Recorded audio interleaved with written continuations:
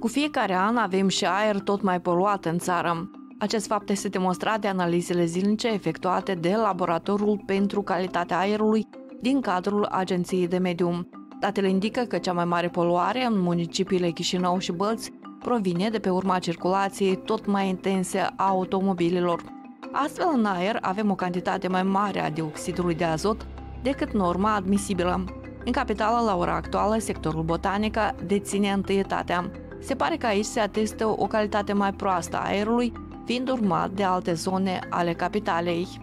Sectorul uh, unde este amplasată gara feroviară, avem un flux foarte mare al transportului auto și de aici avem și concentrații sporite, în special la dioxidul de azot.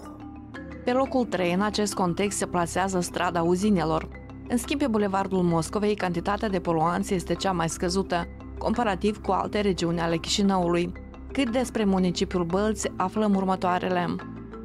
În municipiul Bălți, foarte des avem poluare cu uh, suspensii solide.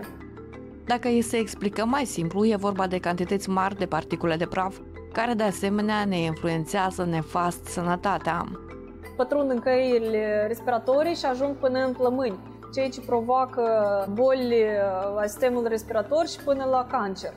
Reprezentanții Agenției de Mediu ne spun și în ce perioada zilei, dar și a săptămânii, avem cea mai mare poluare a aerului.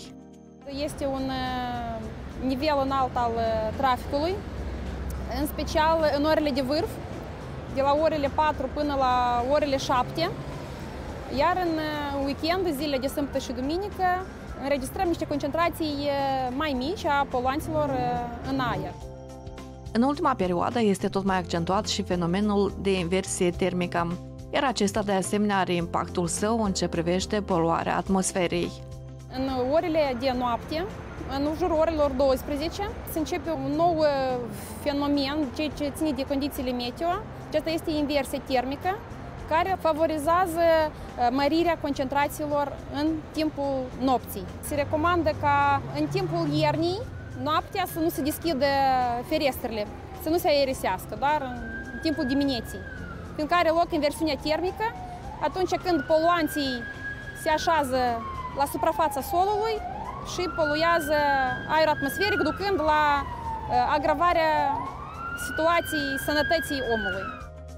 Cât ține de anotimpuri, se dovedește că în perioada rece avem cele mai înalte cantități de poluanțe în atmosferă. Odată cu sezonul de iarnă avem și aportul funcționării așa termocentralelor electrice și încălzirea în domeniul privat al caselor. Din luna iunie, Agenția de Mediu are instalat o stație modernă de monitorizare a calității aerului la intersecția străzilor Ștefan cel Mare și Mihai Viteazul. Laboratorul a fost o donație din partea colegilor din Germania iar la prezentarea rezultatelor trimestriale au fost prezenți și colegii din această țară. Datele cu referire la poluarea aerului cu gaze de eșapament au fost surprinzătoare pentru ei. Mirarea a fost foarte mare, avem valori foarte ridicate comparativ cu situația lor. Am dedus că aceste, aceste emisii de ridicate, concentrațiile astea sporite pentru dioxidul de azot și pe particulele 10 micromi vin totuși de la gazele de eșapament. Corespunzător, aici sunt mai multe cauze, este calitatea combustibilului, este vârsta automobililor, comparativ cu Germania, la ei acolo 20% la sud le ocupă automobilele cu diesel, la noi aici corespunzător cifra este mult mai mare. Potrivit datelor oferite de reprezentanții Agenției de Mediu, cele mai mari concentrații de poluanți sunt depistate pentru dioxidul de azot, monoxidul de carbon, aldehida formică și fenol. Comparativ cu multe țări, totuși avem încă aerul puțin mai curat. Puțin este mai bun ca în alte țări, dar în alte țări poluarea aceasta se datorează nu transportului, dar se datorează mai mult activității industriale.